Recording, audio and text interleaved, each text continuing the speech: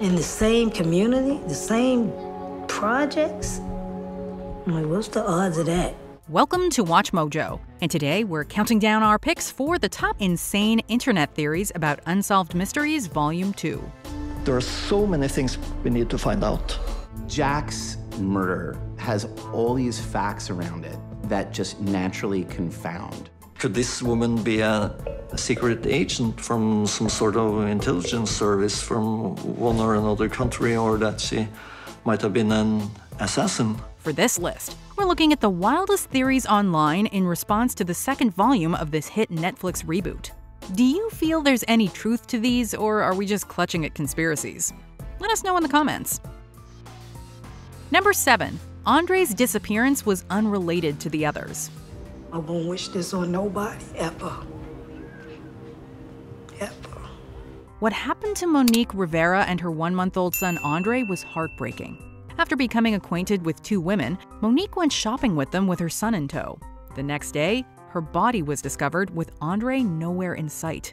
While it happened in the same neighborhood, many believe that his disappearance was unrelated to the fates of Christopher Dansby and Shane Walker. In the same community, the same projects? Like, what's the odds of that? In those cases, both children were approached by older children asking to play, and later vanished when their guardians were distracted.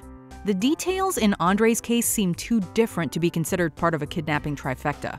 Frustrating, it really is. I mean, you know, especially when there's not a lead. I mean, there's no leads to go on. Number 6. Staff at the Plaza Hotel were in on the kill.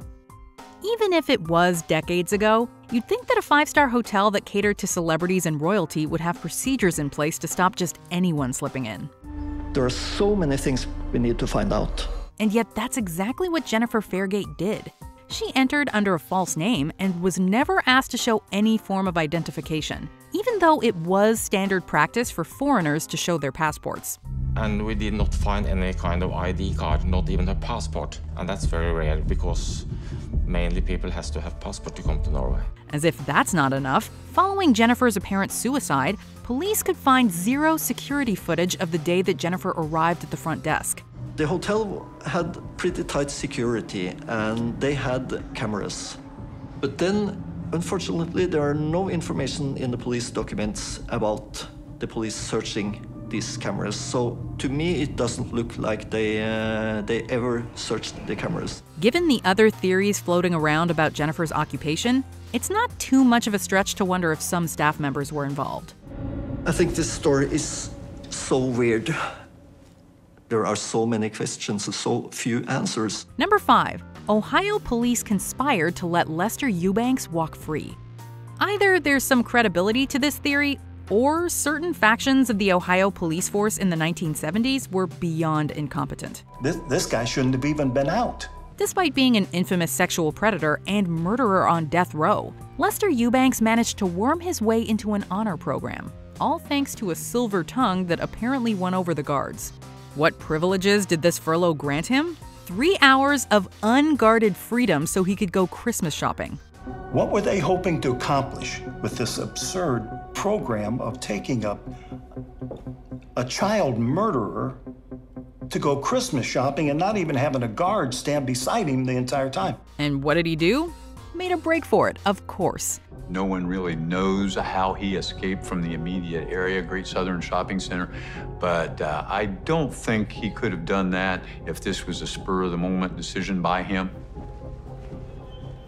I think there had to have been planning. I think he had to have made some kind of arrangements in advance. While the whole thing sounds like a ridiculous oversight, what really rubs salt in the wounds is that those in charge failed to run up a warrant for his arrest, allowing Eubanks to continue to live his life as a free man decades on. Number 4. JoAnn Romain was murdered. Despite police officially ruling it as a suicide, the questionable circumstances surrounding JoAnn Romain's death have both her family and the internet up in arms. Yeah, we were devastated, but we didn't stop. Now let's figure out how it happened and why it happened. While investigators deemed that JoAnn had drowned herself by walking into the ice strewn Lake St. Clair, her daughters think otherwise. There was no suicide note. She was never on any medications. My mom always was. And as she got older, became more of a devout Catholic, going to church more than just on Sundays, you know, going during the week. If you're a devout Catholic, suicide is against all beliefs. Not only was JoAnn a dedicated Catholic and afraid of her own shadow, but further inspection from outside sources revealed some rather baffling evidence. JoAnn filled her car up shortly before she allegedly took her own life. The Coast Guard received a notice about her 30 minutes before she went missing, and the autopsy showed that the cause of death was dry drowning. Plus, as we'll go into later, there had been some family conflict prior to her disappearance. People within the family, people close to the family? I can't say that right now. Number 3. Jennifer Fairgate was a hitman or undercover agent. While the fact that the hotel didn't ask for identification is odd enough, the true twists in the Jennifer Fairgate case start with her body being discovered in her room.